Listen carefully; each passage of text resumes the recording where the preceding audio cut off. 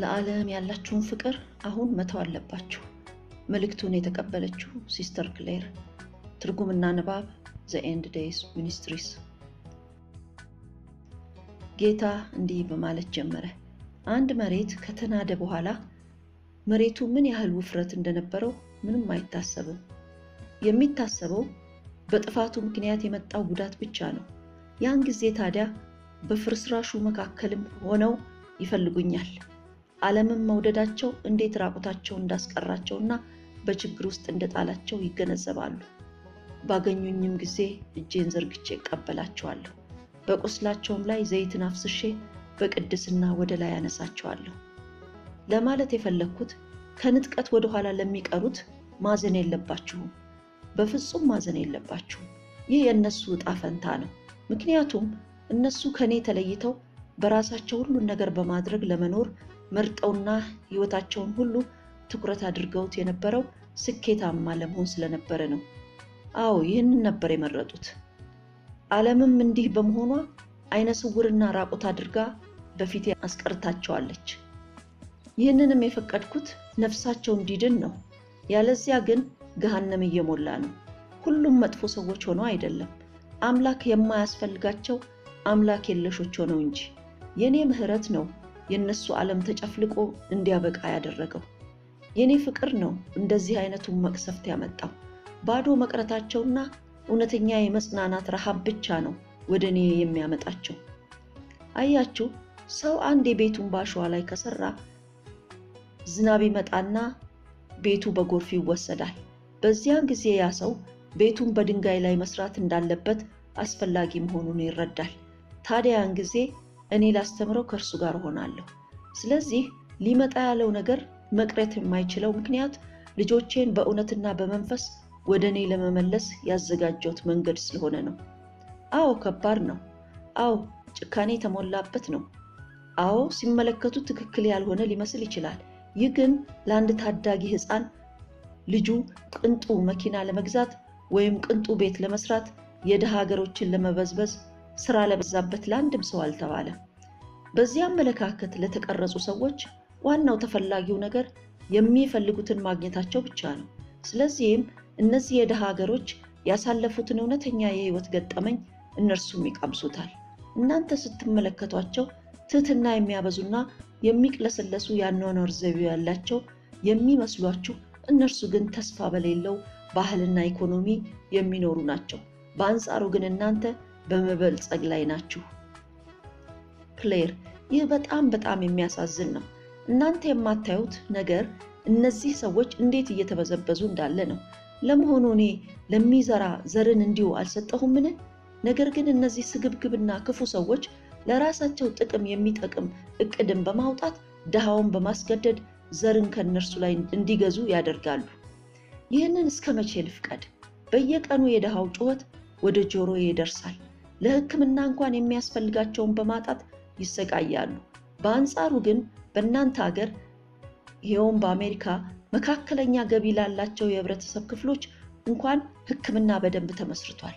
ከዚህም በበለጠ ሁኔታ አዲስና የተሻሻለ ለማድረግ እንዲሁም በበለጠ ለመቆጣጠር እና የበለጠ አትራፊ ለማድረግ እየተሰራ ነው። ይህ እንግዲህ ምንም የማያውቁትን በመበደል ነው። ይህ ከምክንያቶች ሁሉ ያለፈ እጅግ የተበላሸ ነገር ነው። አባቴ ይህ እንዲቀጥል ለአንድ ደቂቃ እንኳን ለምን ይፍቀድ? እኛ የሰዎችን ልብ ለመቀየር ብዙ ጥረት አድርገናል። ነገር ግን ከሁሉ በልጦ ለመገኘትና ለዓለም ቅንጦት ያላቸው ከልክ ያለፈ ፍላጎት አይናቸውን ፍጹም አሳውሮ ትክክል ላልሆነ የህይወት አኗኗር ዳርጓቸዋል። በተለመደው ሁኔታ ቢሆን እንደዚህ አይነት ነገሮችን ላንቺ አውርቼ አላውቅ። ነገር ግን እንድትረጅ የምፈልገው የብልሽት መልኮችን ነው። በየቀኑ የማያቸው ነገሮች እጅግ የሚደንቁና የፍትህ ያለህ በማለት የሚያስጮሁ ናቸው።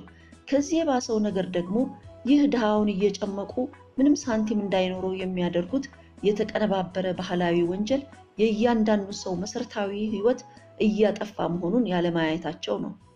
ይህ አንዱ ገጽታ ብቻ ቢሆንም እንኳን ጥላቻን፣ ያለመረጋጋትንና ተስፋ መቁረጥን ያነሳሳል። ሙስሊሞች ለእምነታቸው ራሳቸውን መስዋዕት አድርገው የሚሰጡበት የራሳቸው ምክንያት አላቸው። ይህም በዚህ በተጣመመ በተበላሸና ተስፋ በሚያስቆርጥ ዓለም ውስጥ ደስታን ሊሰጣቸው የሚችል አንድ ነገር እርሱ ብቻ በመሆኑ ነው። ለምክንያት መኖር አንድ የሚፈልጉትን ነገር የማጣት ህመምን ይሸፍናል። ለመኖር ምክንያት ሲጠፋ ግን በክብር መሞት ለክብር ያለውን ስሜት እንዲመልስለት ያደርጋል። በፍትህ ማጣት ምክንያት ሰው በዚህ ምድር ማግኘት ያልቻለውንና ያጣውን ነገር ሰይጣን በመንግስተ ሰማይ እሰጣለሁ በማለት ሰዎች ከዚህ ምድር ራሳቸውን እንዲያጠፉ ያደርጋል። ታዲያ እነዚህ ሰዎች ድሆችን የሚያሳድዱትን የባንክ ባለቤቶችንና የዓለም መሪዎችን እንዴት አይጠሉም? እነዚህ ደግሞ አብዛኛዎቹ አይሁዶች ናቸው። ከዚህ በተጨማሪ ሌላ ስሜት ደግሞ አለ፣ ስራን የማጠናቀቅ ስሜት። ይህም ሴተኛ ዳሪዋን አጥፋ የሚል ነው። ይህ ራሱ ክብር ያለው ነው። ስለዚህ አያችሁ፣ ይህ ችግር ተስፋ የሌለው የተወሳሰበ ጉዳይ ነው።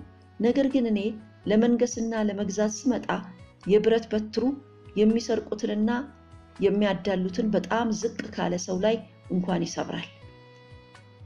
ፍትህና ክብር ለሚፈልጉት ሁሉ ይኖራል። በክብር ለመኖር የሚያስችል እውነተኛ ሙያዊና አስፈላጊ የትምህርት ዕድል ለሁሉም ይሰጣል። እንዲህም ቢሆን ግን ማንም ካለ እግዚአብሔር መበልጸግ አይችልም። ማንም አይችልም። በመጀመሪያውኑም ጠንካራ የሆነ ለእኔ መሰጠትና እኔን ማገልገል መፈለግ ከሌለ ማንም በሕይወት ሊኖር አይችልም። ማገናዘብ የማይችሉ ካልሆኑ በቀር እያንዳንዱ ሰው በእግዚአብሔር ውስጥ መኖር አስፈላጊነቱን ያያል። ኢየሱስ በንስሐ ወደ እርሱ እንድትቀርቡ ይጠራችኋል። ንስሐ ለመግባትም የሚቀጥለውን ጸሎት እንድትጸልዩ ያበረታታችኋል። ጌታ ሆይ እኔ ደጋግሜ ኃጢአትን ሰርቻለሁ። እኔ ላንተ የምገባ አይደለሁም። ለዚህም ይቅርታ እንድታደርግልኝ እለምንሃለሁ። ራስ ወዳድነትና እብሪት ስለተሞላው ሕይወቴ ንስሐ ገባለሁ። ይቅር በለኝ፣ በደምህ አጥበህ አንጻኝ። ውስጤ ካለው ክፉ ነፃ አውጣኝ። ያንተን መልክ የሚመስለውን አዲሱን ሰው ለመሆን እንደገና መወለድ እፈልጋለሁ። ስለዚህም ያለምንም ቅድመ ሁኔታ ሕይወቴን ላንተ አሳልፌ እሰጣለሁ። ተቀበለኝ፣ አድነኝ፣ ደግሞ ምራኝ።